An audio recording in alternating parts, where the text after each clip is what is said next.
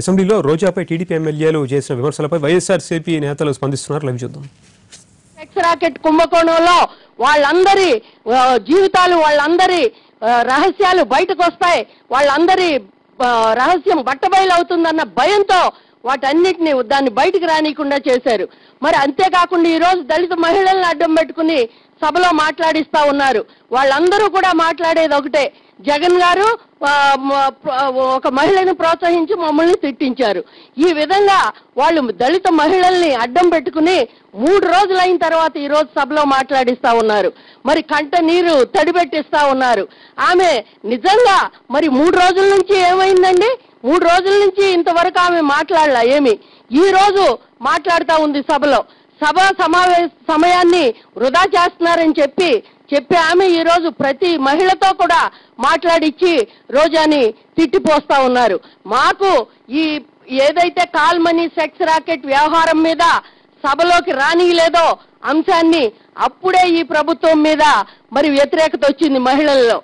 మహిళల్లోనే కాదు ప్రజల్లో రాష్ట్రం ఉన్న ఐదు కోట్ల మంది ప్రజలు కూడా ఇదేంటి? ఈ సెక్స్ రాకెట్ కుంభకోణం గురించి మాట్లాడకుండా కేవలం ఒక వడ్డీ వ్యాపారం లాగా దీన్ని ట్రీట్ చేయాలని చెప్పి చూస్తున్నారని చెప్పి ప్రభుత్వం మీద వ్యతిరేకత వచ్చింది. మహిళలంటే మీకు ఎంత గౌరవమో మాకు బాగా తెలుసు చంద్రబాబు నాయుడు గారు. దానికి ఉదాహరణ మొన్న జరిగిన అంగన్వాడీ కార్యకర్తల్ని ఏ విధంగా రోడ్డు మీద పడేసి లాగి మరి వాళ్ళని ఆ,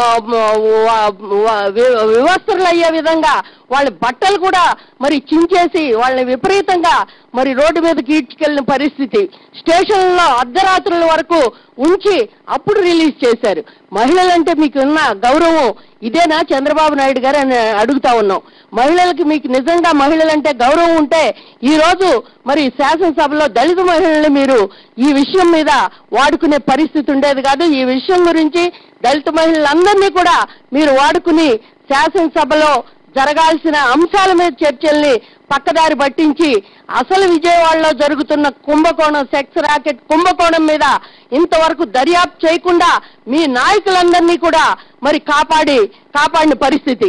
ఇంతమంది మాన ప్రాణాలని దోచుకున్న మరి ఎవరైతే కాల్మనీ సెక్స్ రాకెట్ కుంభకోణం